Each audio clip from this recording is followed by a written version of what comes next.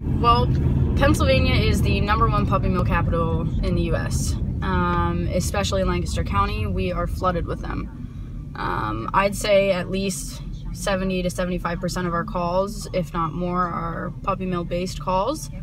Um, you know, people, especially around this time, they're going out, they're getting them for the holidays, things like that. So we have a lot of people calling in you know, inquiring about these breeders and asking, are they safe? Can we buy these puppies from them? You know, what is your take on it, kind of thing. And I think a lot of people don't understand when I say we are the puppy mill capital of the US, how heart wrenching that really is to have to say that you know, because I'll go to presentations and I'll talk to people and I'll say, hey, you know, how many people are from Lancaster County? And they'll raise their hands and I'll say, how many of you know what a puppy mill is?